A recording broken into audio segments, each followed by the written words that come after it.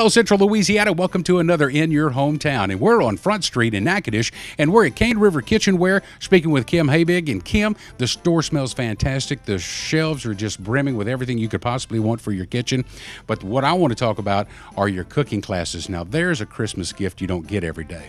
Our, Chris, our cooking classes are absolutely wonderful. We bring in different chefs from around the neighborhood, and they come in and they pre- uh, prepare a meal, a five course meal, and you get to um, watch how they make it. You get to sample it. Tasting, cooking classes. How about the coffees and teas? Smells fantastic in here. We have a great assortment of coffees. Um, our coffees are made from neighbors up in Oklahoma, but uh, they're the top of the line coffees, and we have over 80 different blends of coffee. And what we do is we sample the coffee as well so you can see what it's like, and we also grind it for you. It's Christmas festival time. It's on Front Street. It's in Natchitoches. Come see us at Cane River Kitchenware, and that's today's In Your Hometown on ABC 31 KLAX.